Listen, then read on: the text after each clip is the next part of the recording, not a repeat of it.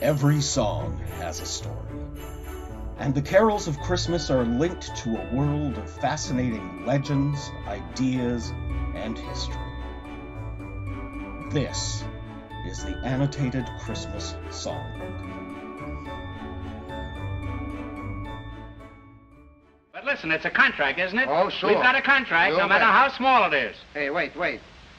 What does this say here, this thing here? Oh, that? Oh, that's the usual clause. That's in every contract. That just says, uh, if any of the parties participating in this contract are shown not to be in their right mind, the entire agreement is automatically nullified. Well, I don't know. It's all right. That, that's in every contract. That's, that's what they call a sanity clause. you can't fool me. There ain't no sanity clause.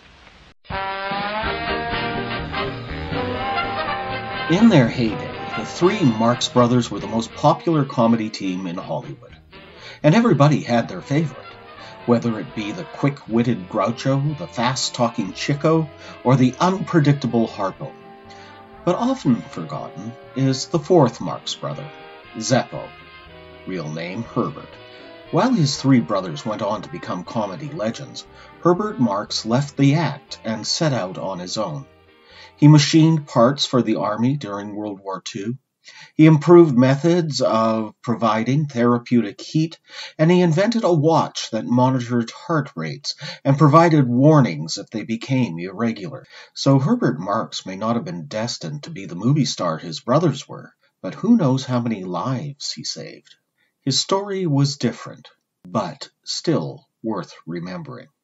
And so it is with another famous and much more serious trio Melchior, Balthazar, and Caspar, the three wise men. But there is the legend of a fourth wise man, in a story first told by American writer Henry Van Dyke. And it, too, is a life worth remembering. It is said that many years ago in ancient Persia there lived a gifted astrologer named Artaban, whose studies revealed the impending birth of a great king. Artaban resolved to honor this miraculous babe's birth with wondrous gifts. So Artaban sold his every possession and purchased three magnificent jewels a bright blue sapphire, a fiery red ruby, and a pearl as valuable as any kingdom. With these great gifts in hand, he set out for Jerusalem, where it was arranged that he would meet with his fellow wise men.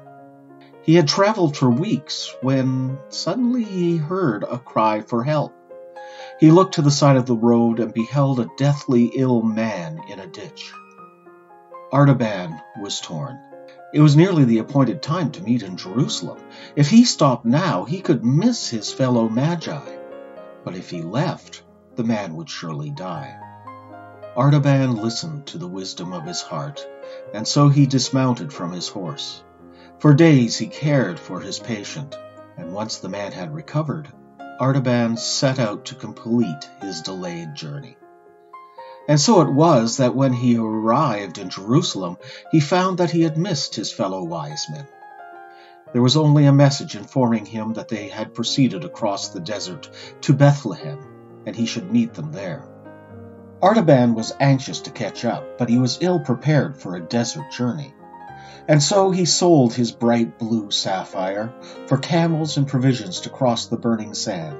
And so, with only the fiery red ruby and the pearl as valuable as any kingdom, he set out to honor the king. It was many days before Artaban arrived in Bethlehem. He found neither his fellow wise men nor the newborn king. He finally found the humble home of a widowed mother and her son. The woman told him that the little king and his parents had fled in secret. They had been warned of the anger of King Herod, who had promised to kill every male child in the city. Just as the woman was telling this to Artaban, a great cry went up in the street. The soldiers of Herod were arriving to carry out their bloody orders. The mother had no place to hide her son, but Artaban stood in the doorway, and when a squad of soldiers demanded to be let into the humble home, Artaban assured them that no boy dwelt in this place. But for their troubles, would they take this fiery red ruby and move on? The greedy soldiers took the ruby, and the boy was saved. But now Artaban was left only with the pearl valuable as any kingdom to honor the king, and he still had to find the baby. For thirty three years Artaban searched in vain for the great king. Finally, he heard of a great teacher who spoke of love and forgiveness and performed amazing deeds. Now old and penniless, save for his precious pearl, Artaban was convinced that this was the great king he sought. But when he reached the city of Jerusalem, he was informed that the man he sought was to be put to death that very day. Gripping the pearl as valuable as any kingdom in hand, he rushed to reach the execution site, certain he could use the precious gem to ransom the great king. But before he could reach the place of death, his way was blocked by a squad of rough men pulling a pitiful little girl locked in chains. The child was being dragged away to be sold as a slave. Artaban had his last chance to honor his king but his heart was moved by the horrible sight before him. With barely a thought, he approached the men and pressed into their commander's palm the pearl as valuable as any kingdom. The little girl's freedom was secure. So Artaban's great king went to his death without the wise men ever presenting his gifts or even seeing his face. Artaban fell into despair he had failed the very king he had hoped to honor. But as he lay grieving, he heard a voice. A soft voice, but one that spoke with conviction and compassion.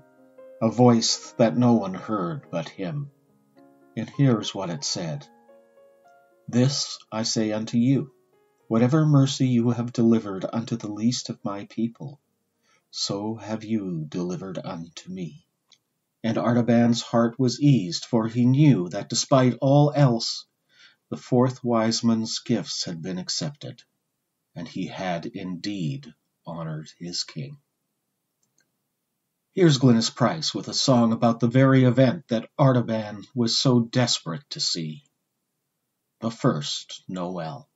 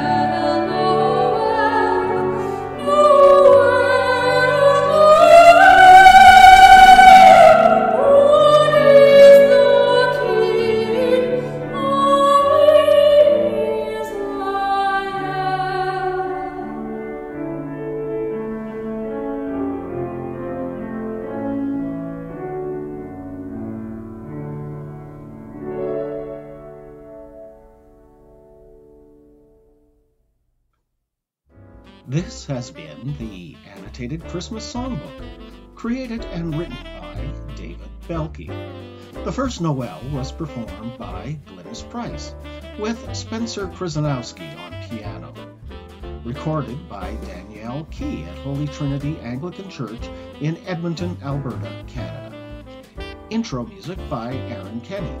Outro music by E's Jammy Jams. Incidental music, The Wandering Soul, by Asher Fulero.